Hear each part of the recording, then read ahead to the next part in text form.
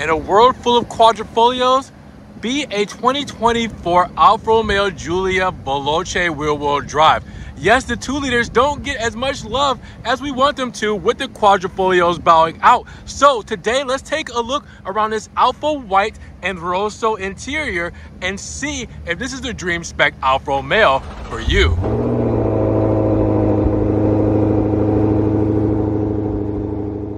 What's good guys? Welcome back to Ron's Rides. Welcome back to the channel and welcome back to another video where I'm here at Alfa Romeo Lakeland in Florida with a two liter. I know it's been a while since we've had a two liter Giulia on the channel because Quadrifoglio this, Quadrifoglio that. But here we are and I want to take a spin around this thing because of the fact that these don't get as much love and appreciation as they should for the 2024 model year because they're still pretty cool. They still got some updates. They still got some cool specs. And you guys already know, if you know me and you know my history with vehicles, you guys know that I love a white and red interior spec. So with that said, let's check this thing out. Let's talk about this 2024 Giulia rear-wheel drive in the Veloce spec and see what this thing is all about. Now, as always, big shout out to Alfa Romeo Lakeland here in Florida for letting me take a spin around this Veloce Giulia. If you guys are looking to get this car, make sure you guys check the link in the description for their website and phone number and give them a call, check out their inventory, see if they have the perfect Alfa Romeo here for you. So here it is in Alfa White, the most affordable, I want to say, affordable paint. I won't say cheapest, but affordable paint for the 2024 model year because this is the only paint that comes at no cost. So, hey, already a win, right? But then with this model, we're gonna have a couple things that's going to give it that Stormtrooper spec on the outside, but then get it really bloody on the interior. Now, with that said, for the below change for 2024, what are we looking at? Well, up front, you guys will see the Alfa Romeo insignia front and center with that emblem, the Trilobo and the Scudetto right up front with the new grille pattern, as you guys can see, and the dark beat on for the front grille.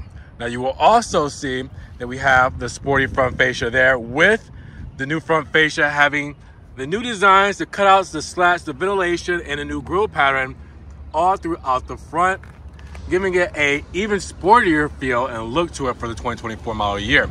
Now you can also see that our tri-LEDs or 3 plus 3s are here as well with the black housing, which is new for 2024. And if you get a little bit closer, you will see that we have the Alfa Romeo script right there on the side with the amber reflector as well take a step back and look at all of it together. And they keep it simple, few changes here and there to keep it fresh, but keep it very Alfa Romeo when it comes to the DNA. Now the side profile, a little bit more simple when it comes to everything here.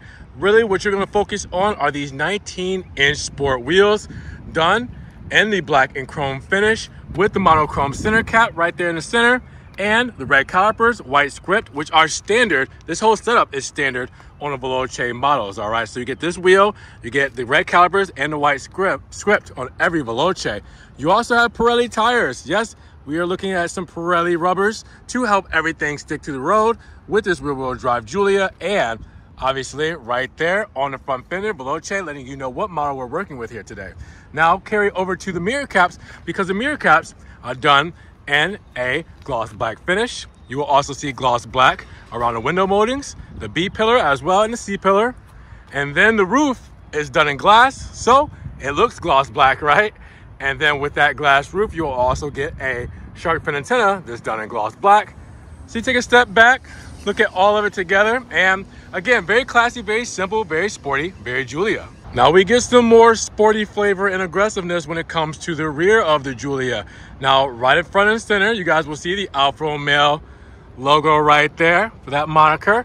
You will see to the right, the Giulia badging done in chrome with the new clear tail lamps. As we know, we got the clear ones for 2024 and we will see those illuminated shortly with the Q2 badge there as well on this side with the chrome Q and red too. Then we get the sportiness and aggressiveness in the rear with the shark fin rear diffuser. We have the honeycomb grille surround around the dual black exhaust tips. So then you put all that together, keeps it simple, but at the same time gives it some sporty look, gives it some aggressive look, and really, again, very just Alfa Romeo. Now, we know what's under the hood of the Giulia Veloce Q2 for the 2024 model year, right? Is what we're used to for all Giulias and Stelvios for the most part. I mean, we've had this engine in these models for the past few years now. So with that said, we're looking at an inline four, two liter with 280 horsepower and 306 pound-feet of torque. Now this model here is paired to an 8-speed ZF transmission with carbon fiber drive shaft and 50-50 weight distribution. So what are we looking at? Well, with that, our times are 5.6 seconds from 0 to 60. Our quarter mile time is about 14.2 seconds with our 0 to 100 time in about 14.6 seconds. And our top speed, well, that's 149 miles per hour. But I'm sure in safe locations like maybe a track, you could probably push it to a little bit more. But let's see what all of that sounds like.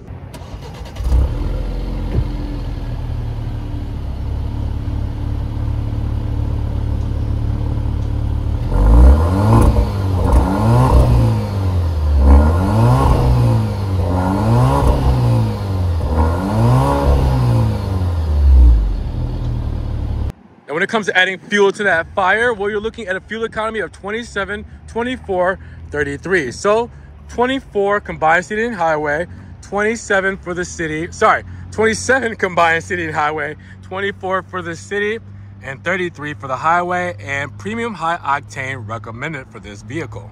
Now, when it comes to the cargo space, we're looking at about 13 cubic feet of space in the rear. And as you guys will see, we have a 40 20 40 split when it comes to the rear seat fold downs. You guys will see the toggles are right here right there in your face. So you guys will not miss those when you need to fold down those rear seats and get access to the back of the vehicle. Your battery is stowed away on the side here for the Giulia. and then we do have a false floor underneath this front plate kit which has a small space under here nothing to stow. As you guys can see just has your tire and inflate kit your tow hook and a screwdriver there that's basically it for the false floor, but plenty of space when it comes to the rear of the Giulia for its class. Now, of course, we gotta check out the lighting signature, right? I mean, come on, check out the new 3 plus 3 LEDs, tri-LEDs, right up front, as you guys will see. The black housing, the switchback from bright white to amber, and then the full LED headlamp there with the eyebrow and the reflector on the side doing its thing. And you will also see in the black mirror cap, the amber flasher right there for the turn signal. And then in the rear, before we get to those tails, you'll see we have the reflector right there. And then we have the clear tail lamps flashing with the fog lamp right there in the center as well, illuminating, letting us know that this is a new light signature for the 2024 model year. Now, let's see what the front seat of this Veloce looks like for the 2024 model year because obviously we know that there's a lot of red in here today. Red sport seats, perforated leather, heated seating, extra thigh support. We got it all here with the embossed Alfa Romeo logo right there in the headrest. Beautiful place to be, right? Let's hop inside because we have an aluminum side sill greeting us with some aluminum pedals there for the brake pedal and gas pedal.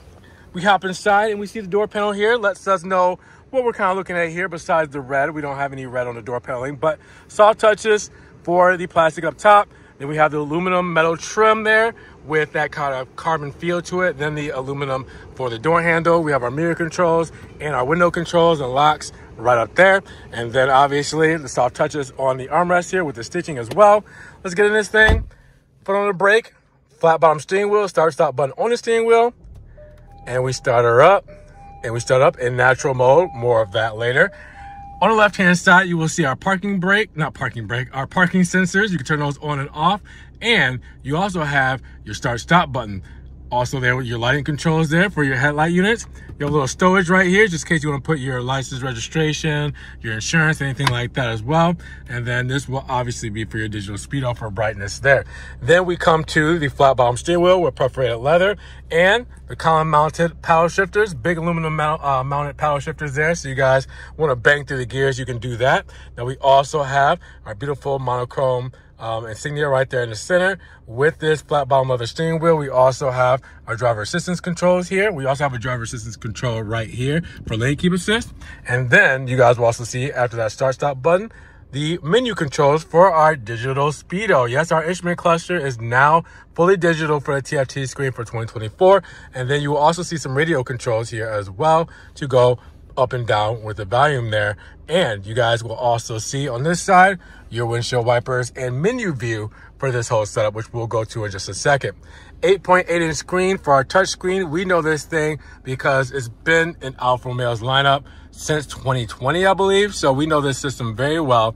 Um, if you don't want to touch the screen, you do have some hotkeys here and an analog dial where you can actually just control everything from there as well. Now with that, you have over top of it, your soft touch plastic with that aluminum carbon-like trim with it. The glove box here underneath. Hey, that, that popped out perfectly. You couldn't have timed that any better with how that popped out uh, yeah, you know, doesn't write itself, guys. Um, with that said, you guys will also see dual zone climate control with your heated steering wheel and heated seat controls there as well. USB 2.0, 12 volt, and a little extra storage with the cup holders here as well. And then that big aluminum carbon feel for the trim here. Now, we have a two track system, HPGF, wrapped in perforated leather. I can go back, and what I mean by two track is I can actually shift from here, or I can shift from the power shifters. You know, either way I want to do it. We also have neutral, reverse, which brings up our reverse camera there, and then P for park. All right, now radio controls. I kind of hear some radio, so I'm gonna turn it down, or I can just press it down to mute it. Key fob holder, electric parking brake, and I already talked to you about those radio controls, and we do have a wireless charging pad right there. DNA drive mode selector, dynamic, our most aggressive mode, the one we're gonna have the most fun with. Natural, everyday driving, bumper to bumper traffic, what we started in in advanced efficiency, good for saving fuel economy, highway cruise control, everything like that. It's good for advanced efficiency.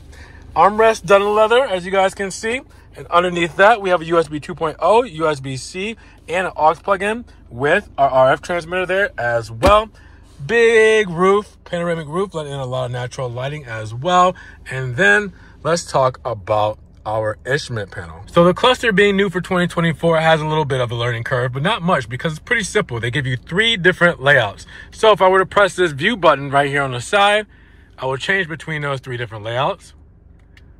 As you guys can see, that's it. One, two, and three. This one being my favorite. Now, I can also change what's in the middle and what's on the side. As you guys can see the digital screens here. So how do I do that? Well, to scroll through, I will scroll up by using this, but I actually have to highlight it first. So to do that, I press that and now you can see the middle is highlighted and then I can use this scroll dial to scroll up the information between that.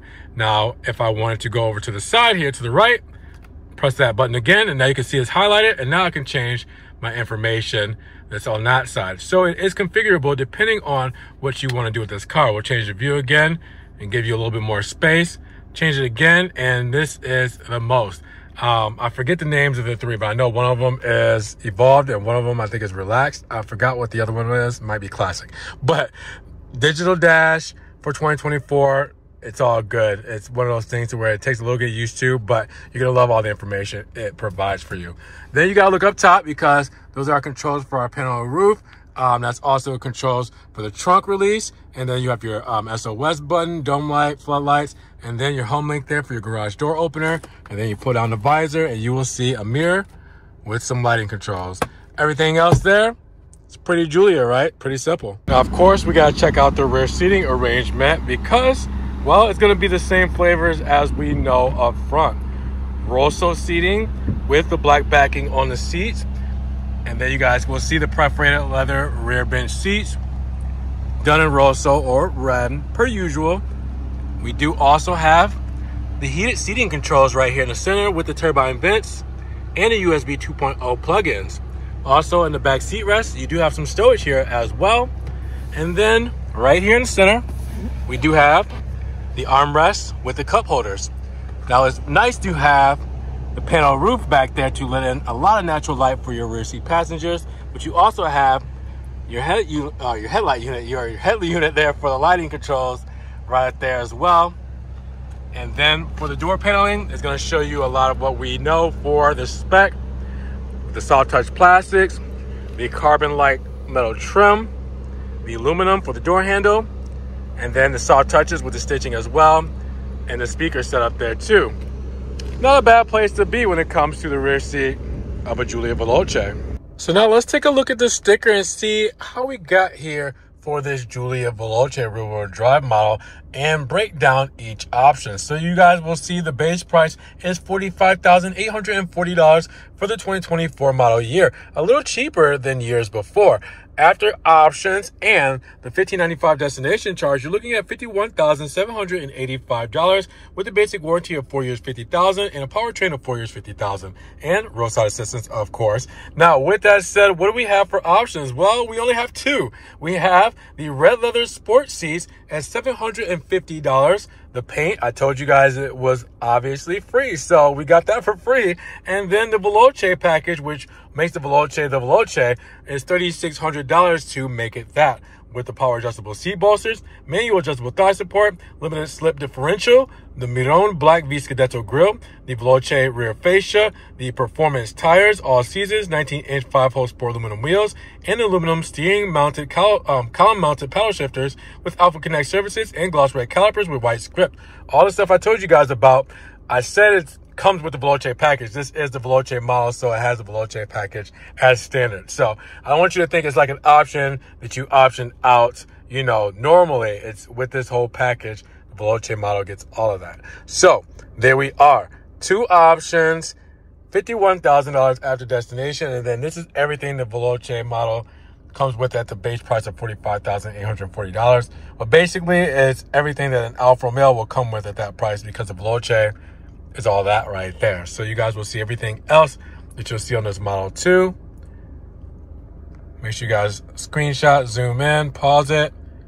So you guys can see everything that we have here for this 2024 Veloce rear-wheel drive. So at $51,000, what are you guys thinking about the spec on this Veloce model? Are you guys loving it as much as I am? I wanna know, drop those comments down below because again, white red contrast with black is just undefeated to me. And that's just always been my outlook on these specs. So I love it. I wanna know what you guys think. Drop those comments down below. And if you guys did enjoy the video today, make sure you give it a big thumbs up. And uh, also, I mean, you guys wanna help support the channel and the dealership, make sure you guys check the links in the description, like the link to their website and their phone number. You guys can give them a call and get into this car here or any other models that they have on this inventory. You guys can also subscribe or click the notification bell so you don't miss one video. And with that said, we will see you guys in the next one.